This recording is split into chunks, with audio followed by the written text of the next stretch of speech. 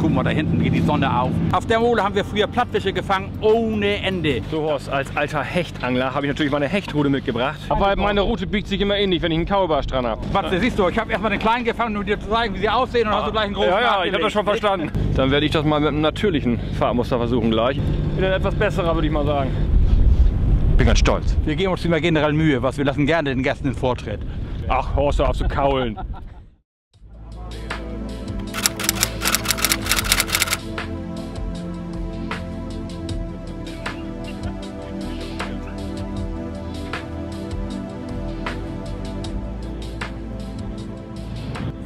Horst, was meinst du? Geile Stimmung, oder? Das ist nochmal ein Morgen, du. Der erste richtig frostige Morgen in diesem Jahr. Graureif hier auf dem Steg. Wir stehen vom Kutter, Horst und ich, und wollen mal ein bisschen die Dorsche ärgern. Am äußerst nördlichen Zipfel von Deutschland habe ich mich hingeschleppt. Der wohnt ja echt, wo der Hund begraben ist, der Horst. Das ist ja echt nicht wahr, sowas. Aber ist richtig geil hier bei dir und ich fürchte, du musst mir ein bisschen auf die Sprünge helfen. Du. Ich bin nämlich so ewig nicht auf dem Kutter gewesen. Da will ich mir beim Europameister gerne mal ein paar Tipps holen. Du, ich habe extra das Wetter für dich bestellt, Matze. Guck mal, Ja. wunderbarer Sonnenaufgang. Besseres hättest du nicht ruhig. bestellen können. Das ist ja wie Super. bei dir irgendwo da am, am Karpfengewässer, weißt du. Und dann wollen wir sehen, jeder Fisch muss erarbeitet werden. Nicht? Aber ich bin froh Mutes. Was ist so ein Dorsch werden wir wohl an die, auf die Planken zwingen heute. Gut, Ne? dann erarbeiten wir uns was. Komm Alles klar. Und dann hieß es aufgeentert. Mann, war das lange her, dass ich einen Kutter betreten habe. Das letzte Mal auf der Nordsee, bei sechs Windstärken, auf Makrele. Da ich zwar ein gestandener Ostfriese, aber kein wirklich gestandener seefester Seebär bin, kam es mir entgegen, dass die Ostsee da lag wie ein Ententeich. Langweilig wurde es mir auf dieser Fahrt in keiner Sekunde, denn Horst hatte immer irgendwas zu erzählen aus seinem reichhaltigen Erfahrungsschatz. Also wir verlassen jetzt gerade den Hafen Marsholm. Was Marsholm liegt strategisch sehr günstig. Wir sind jetzt gleich auf der freien Ostsee. Hier haben wir ein relativ schmales Fahrwasser. Die Schlei ist ja so ein, so ein Windfjord. Nicht, aber da hinten ist schon Schleimünde. Da fahren wir dann gleich auf die Ostsee. Und ich schätze, in einer halben Stunde werden wir das erste Mal versuchen, unsere Köder das Wasser zu verbringen und dann, äh, dass wir den ersten einen oder anderen Dorsch fangen eventuell. Meinst du das? Ja. Du bist der Optimist. Absolut. Super. Ne, sonst würde ich ja nicht losfahren. Was, ich liebe diese Stimmung morgens. Guck mal, da hinten geht die Sonne auf. Hier die Ruhe an Bord, weißt du. Nachher vielleicht um die Möwen reichen. Ne? Und wenn der, der Kapitän die Fahrt aus dem Schiff nimmt, weißt du, dann wirst du schon kribbelig und nervös, weißt du, wenn du merkst du dann, weißt du, und die ersten, die fiebern dann richtig schon, der Kapitän hupt dann eigentlich, weißt du, aber eigentlich Ja. müsstest du schon den ersten Dorsch haben, bevor er hupt, weißt du, gerade. Das sind die ganz Ehrgeizigen hier. Auf der Mole haben wir früher Plattfische gefangen ohne Ende. Wir waren nicht in der Lage, die wegzutragen. Das früher war das ja Militärgebiet hier, Sperrgebiet, da wird jetzt ein Feriencenter gebaut. Da sind wir auf diese Mole gelaufen, haben da Plattfische gefangen, das war unfassbar. Von Horsts unerschütterlichem Optimismus lässt man sich doch gerne anstecken, oder? Nachdem ich die schönen Impressionen ein wenig auf mich wirken lassen hatte und wir den Fanggründen näher kamen, wurde es Zeit, mein Gerät fertig zu machen. Und da ist die Frage, hatte ich überhaupt das Richtige dabei? So Horst, als alter Hechtangler habe ich natürlich meine Hechtrute mitgebracht. Ich hoffe, damit bin ich nicht falsch. Nein, absolut nicht. Also was du im Gegensatz, du hast ja gesagt, vor 30 Jahren hast du das letzte Mal auf dem Kutter geangelt. Ja, damals hat man ja noch so Geprügel benutzt, weißt du, diese Ja, ja. Pilgruten, die man zum Erschlagen von den Fischen genommen hat. Und heute fischen wir ähnlich, als wenn du auf Zander twistest, weißt du? Ja, also ruhige richtig. Führung und gerade Okay. in der kalten Jahreszeit, der Dorsch ist ja kein Schnellschwimmer, Ja. hält sich relativ dicht am Grund auf. Ich vertraue meiner alten Methode, was so ein Beifinger, also klassisch Jigpilger ohne Drilling. Weil So kleine Köder nimmst du? Ja.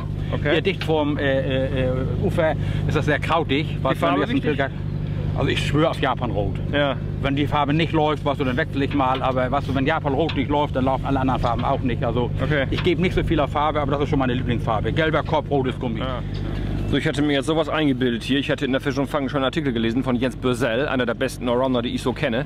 Und ich lerne auch noch von Artikeln in der Fisch und Fang. Das ist kein Witz. Ich lese da auch drin und lerne was dazu und habe mir jetzt, wer weiß, was eingebildet. Ich habe eine geile Dropshot-Montage dabei, weil ich auf Hecht auch gerne mit Dropshot fische. Und dann sehe ich, wo Horst, das ist ja eigentlich gar kein Unterschied zu dir. Das ist ja nur ein. Beifänger eigentlich, ne? Genau, die Mundschule wird da länger, aber wie gesagt, was man vertraut immer auf dem, was man womit Erfolg gehabt hat. Ja, klar. Mal, die anderen Angler an Bord angeln hier teilweise mit reinem Gummifisch. Guck mal, der Kapitän sucht jetzt, du, äh, fährt, der hat die Fahrt aus dem Boot genommen, er hupt. Die ersten geilen Angeln schon hier. Ich konnte es gar nicht abwarten. Und ähm, erfahrungsgemäß versuche ich erst immer einen Fisch dicht am Boot zu fangen, weil ich hoffe, dass der Kapitän ein paar Fische auf dem Echolot gesehen hat. Und sonst werfen Du bist ja ein? Fuchs.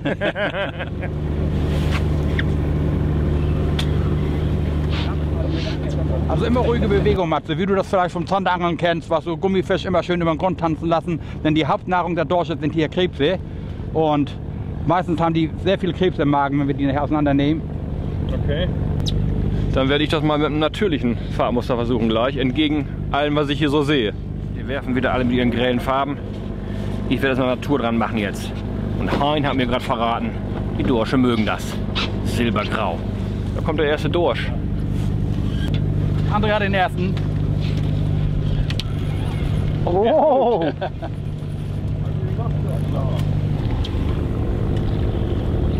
Vorsichtig. Sehr gut. Das ist ein guter Fisch. Ja, der erste ging auf den Gummifisch, den ihr da im Maul seht. Gedeckte Farbe mit ein bisschen Glitter. Hat geklappt. So, einen Fehlbiss hatte ich. Duschko hat Und man kann es auch gut sehen, ne? Er hat er sauber runtergezogen und verknautscht. Ja, Mensch, bist versemmelt. Sowas Blödes. Das ärgert mich jetzt doch. Gar nicht gedacht, dass ich einer der Ersten sein würde, die Biss hat. Bin ganz stolz. Wir geben uns immer generell Mühe, was wir lassen gerne den Gästen den Vortritt. Ach, Horst, auf zu kaulen. Wenn du Biss hast, dann, dann, wenn du Biss hast, was machst du dann? Dann, dann wa- wartest du noch eine Weile oder was? Wenn ich merke, dass ich Biss habe, dann ziehe ich nur stramm. Also ich schlage nicht wie so ein Wilder an. Weißt du, weil die kommen ja nochmal wieder. Bloß wenn du jetzt wahnsinnig ansammelst, weißt du, dann hauen sie natürlich ab. Aber wenn ich jetzt merke, da nuckelt jemand und der schießt vorbei, dann halte ich eben noch ein bisschen stiller und dann nur so aus dem Handgelenk, weil der geflochtene Schnur weißt du, ja, das ist kein Thema, die schlagen sich im Grunde genommen selbst an. Der Kapitän sucht jetzt, was er fährt hier seine Position an. Wir behalten uns ja immer noch relativ ufernah auf, fährt nachher auch ins Tiefere. Der kennt sich in dem Revier sehr gut aus und gibt sich immer alle Mühe. Also die mehr, dass die, da kam auch gerade vorne wieder ein Fisch mit Gummi, auf Gummifisch. Dass die Kapitäne äh, äh, äh, nur rausfahren, um abzukassieren, das ist vorbei. Ja. Also die Kundschaft ist heute schon so kritisch und das spricht sich so schnell rum, ob ein Kapitän gut ist oder weniger gut ist, weißt du, und ob er gut fängt oder weniger gut fängt. Also das ist schon, da leben sie einfach von, Ja, dass sie zufriedene Gäste haben.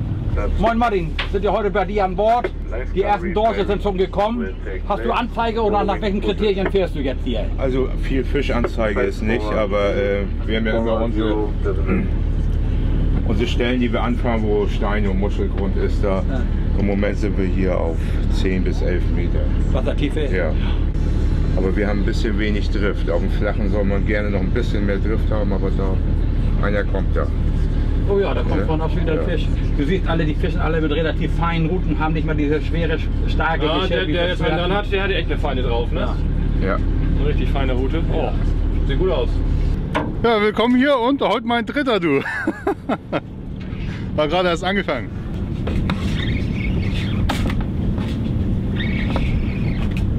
Da ist er. Auf Gummifisch. 4-0, 50 Gramm. Auf geht's. Gibt's hier einen Kauerbarsche? Ja, das gibt ja natürlich groß und Ja, kleine weil meine. Route biegt sich immer ähnlich, wenn ich einen Kauerbarsch dran habe. Jo, ich habe auch einen. Oh, das ist besser. Der ist aber ein bisschen besser als seine Kauerbarschnummer ich wollte euch ja nur zeigen, dass es hier auch kleine Dorsche gibt. Der holt jetzt seine Eltern wieder, ne? Sagt ihm Bescheid, wie nett wir hier sind. Dann was der siebte, geht doch. Mit Dropshot? Mit Dropshot, aber auf welchen Haken er gebissen hat, weiß ich jetzt nicht. Ich habe unten nämlich einen Gummifisch dran. Der ist auf Gummifisch. Meinst du? 100 Pro. Danke dir.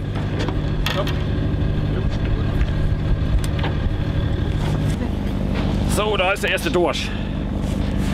Ja, der hat auf den Gummifisch gebissen, Horst. Und nicht auf den Dropshot. Petri, was, das siehst du, ich habe erstmal den Kleinen gefangen, um dir zu zeigen, wie sie aussehen und hast du gleich einen großen Ja, ja, ich habe das schon verstanden. Und Horst brät mir den Fisch, ne? Horst? Ich filetiere dir auch. Ne? Auch das noch. Was ein Service. So nach und nach standen immer mehr Routen krumm.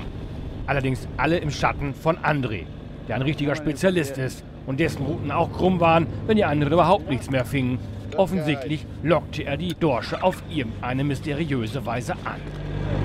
Ist heute etwas zäh, aber die Qualität oder die Güte der Dorsche ist eigentlich ganz brauchbar. Wäre schön, wenn sich die anderen auch mal am Fang beteiligen würden.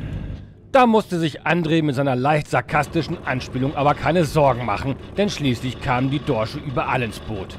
Auch Europameister Horst ließ sich dann am Ende nicht mehr lange bitten. Was ist los, Horst? Wieder ein Kauerbarsch? Du, seitdem ich euch die ganze Zeit den Vortritt gelassen habe, wollte ich euch zeigen, Ah, sieht ja besser aus. dass wir dann vielleicht den einen und anderen noch hier rausgekitzelt kriegen. Ich war schon nahe der Verzweiflung. Ich wollte schon auf Gummifisch umsteigen. Die werden hier so rübergejubelt. Ne? So machst du das? Ja, genau. Das Gerät, das ihr Mann besteht. Und so eine dürftige Makrele ist doch nur halb so groß wie meine. 38 cm ist das schon was für ein Dorsch. Ne? Jo. Fischi, Fischi. Wieder ein etwas besserer, würde ich mal sagen. Und wie André gerade schon sagte, ich bin auch der Meinung, Farbe ist nicht so wichtig. Wichtiger ist die Köderführung. Und man muss schon ein bisschen aggressiver sein heute, habe ich das Gefühl.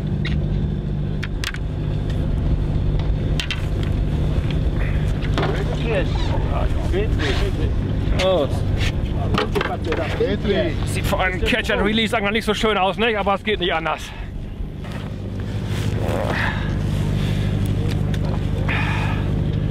Da hat er ihn voll weggemümmelt, meinen Copito.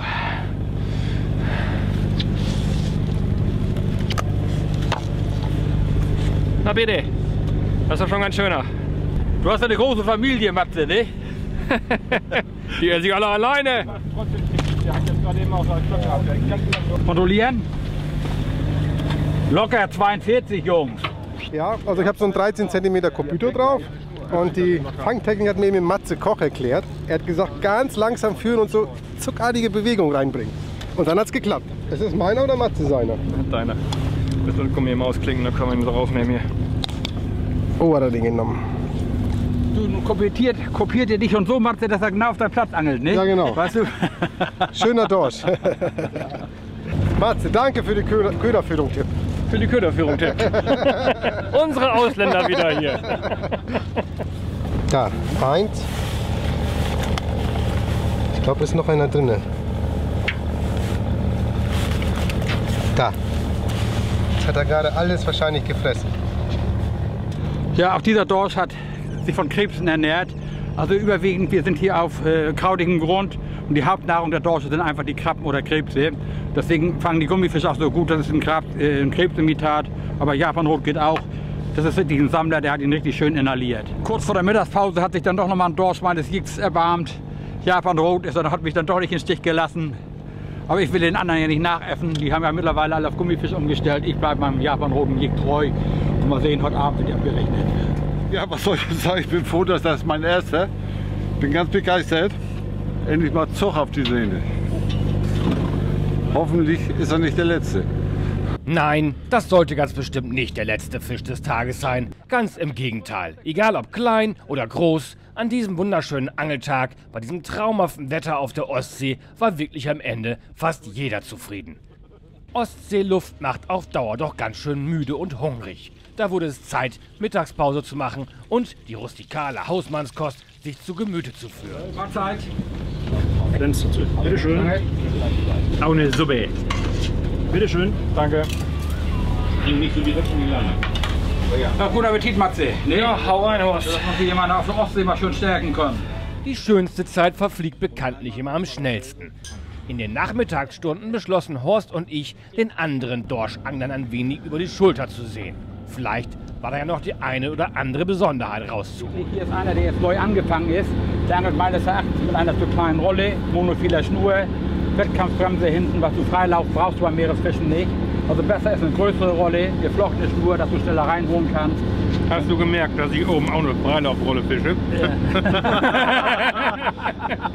Ja, du, du bist ja auch kein erfahrener, drehen oben? er ist auch kein erfahrener Meeresangler, aber was du Salzwasser ist sehr aggressiv. Ich hatte ehrlich gedacht, wir lassen überwiegend ab. Ne? Ja. Da ist Freilauf wirklich genial. Ne? Absolut, aber so beim Meeresangeln, du hast ja auch mal anderes Wasser, wenn Salzwasser rüberschlägt, Ja. je mehr an der Rolle ist, je mehr kann das Salzwasser ist sehr aggressiv, also die Rolle in Mitleidenschaft ziehen. Also besser ist eine robuste Stationärrolle, eine Nummer größer und eine geflochtene Schnur drauf. Ne, Du hast den direkten Kontakt, wissen wir fast alle, Mhm. dann bist du schon vom Vorteil. Hier stehen die absoluten Experten. ne? Die haben jetzt schon, glaube ich, zwölf, hast du Thomas? Ne? Zwölf, ja. Zwölf Dorsche und du hast? Neun. Neun. Ne? Alles mit Gummifisch gefangen. Also der Gummifisch ist heute eindeutig besser, das hast du ja selbst auch erfahren. Ja. Was waren denn die größten bei euch? Um die 60, 65. Ja. Und überwiegend noch kleiner, ne? Die meisten. Man sieht schon, dass die Tendenz dahin geht. Ne? Die fangen sehr viel mehr, weil sie auch sehr kleine Gummis benutzen, haben wir weniger Fehlbisse. Ich habe zum Beispiel fünf Stück versemmelt. Aber dafür haben wir oben mehr Klasse, nicht? Also mehrere, die an die 70 gehen. Wie groß hat So kann man sich seine Dorsche auch 3 ausselektieren. Nuller. 3 Nuller. Nein, die Gummis. 12 cm, 15 cm. Nee, doch kleiner, das sind so 18 Barschgummis. Ah, ja, können wir ja gleich vielleicht mal, können das mal zeigen. Ja, sag ich ja, so 10 cm Dinger oder was, was die da haben, oder 8. Und fischst du die ganze Zeit jetzt äh, äh, mit dem gleichen Gummi oder Ja, hast du mal ich- gewechselt? Hab mich in den Kleinen verliebt. Ja. 40 Gramm Kopf oder wie schwer fischst du? Ja, andere 40, Abdrift 50. Ja. Und hast aber auch ein monofolies äh, Vorfach vor, Ja, ne? hab ich. Direkt eingeknotet in die geflochtene. Ja. Du auch, Thomas? Ja, im ne? Ja, ja. Habt ihr äh, äh. Fluorcarbon oder normale Monofile? Normale Monofil.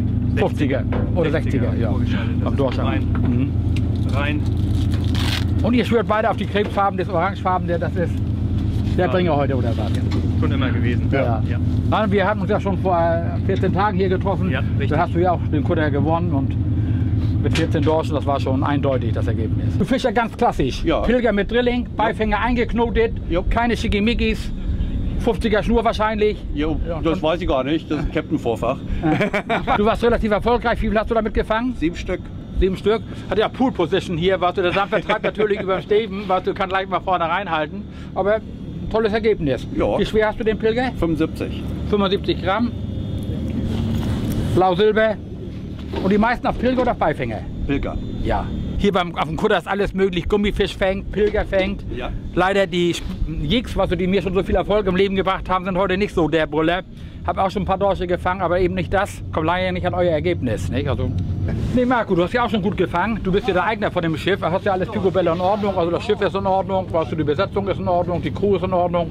Also deine Unterkunft ist in Ordnung. Also wir fühlen uns hier richtig wohl bei dir an Bord. Und das beste Zeichen ist, was du hast ja selber schon Fische auf deinem Boot gefangen. Ne, also Petri Heil. Ja, hast, glaub ich, drei- immer wieder. na, nun, nee, du bist ja nicht jeden Tag dabei, du bist ja, glaube ich, Koch vom Beruf. Nicht? Das haben wir gemerkt. Das Essen war vorzüglich heute Mittag. Nee, das hast du ja gekocht, wahrscheinlich. Nein, also hier an Bord ist schon alles in Ordnung. Leider ist das hier oben Marsholm nicht so bekannt, weißt du. Äh, äh, viele wissen gar nicht, dass das hier so einen tollen Kutter gibt und mit, dem, mit der Rundrum-Service. Man kann bei dir eben essen, schlafen und am angeln, also was will man mehr. Ne? Nee, ich finde toll, dass du das hier alles so schön machst. Die Gäste sind zufrieden. Weiterhin Petri Heil und viel Erfolg. Dankeschön. Ich hatte ja so gehofft, mein Dorsch wäre unantastbar, ne? Aber dieser schöne Fisch hier mit 77, das ist ein richtiger Klopper. Den hast du rausgehauen.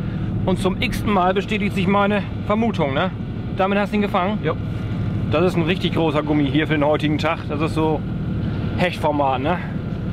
Man kann sehen, man kann die großen Dorsche selektieren, ne? Und so einen will ich jetzt auch noch. Darum gehe ich jetzt wieder angeln.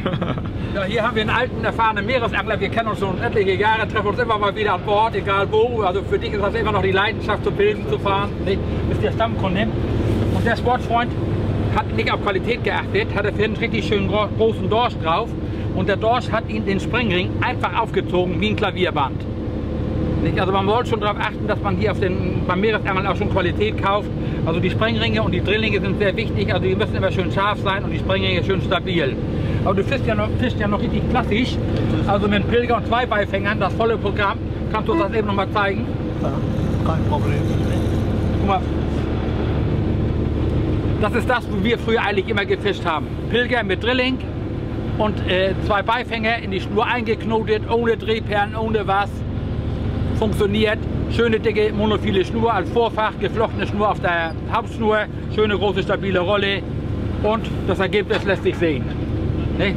Auf einem Platz, der bei den Anglern nicht so beliebt ist, du stehst hier quasi in der Mitte. Ja, ja, ne? aber du fängst deine Fische und das ist wichtig. Ne? Mach weiter so, weiterhin Petri Heil. Dankeschön. Und wie ihr seht, es gibt nicht nur Dorsche, es gibt auch noch richtige Schollen. Also das ist eindeutig eine Scholle, die der Sportfreund hier gefangen hat. Und das ist schon eine Portion, da wärst du heute Abend schon satt. Ne?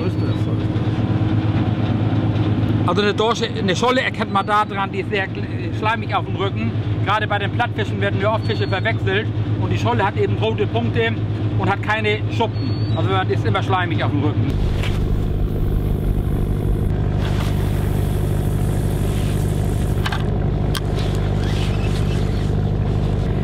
Ich habe jetzt ziemlich lange Absinkphasen, weil ich eine recht dicke Schnur habe. Die meisten fischen so mit 0,10, 0,12. Wusste gar nicht, dass so fein gefischt wird auf der Ostsee. Und ich habe hier nur 0,16er drauf. Da dauert das mal ziemlich lange, bis man 50 Gramm Kopf wie 12 Meter durch hat.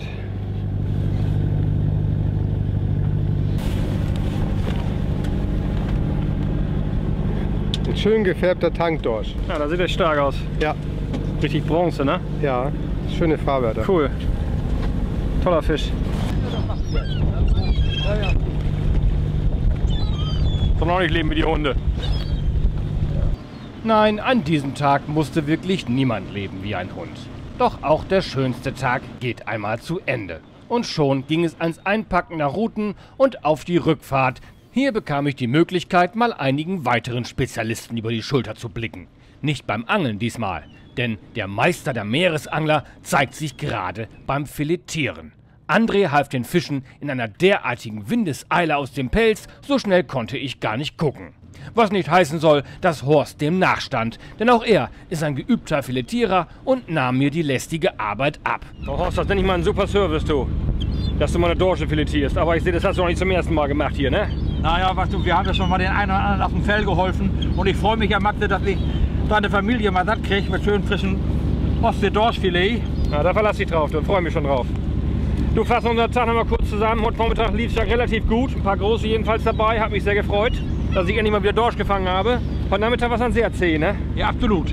Also du weißt ja, die Beißzeiten sind ja auch sehr unterschiedlich. Ne? Ja. Also heute Nachmittag war richtig deprimierend. Heute Morgen war eindeutig Gummifisch dominierend. Wir haben richtig schöne große Fische gefangen.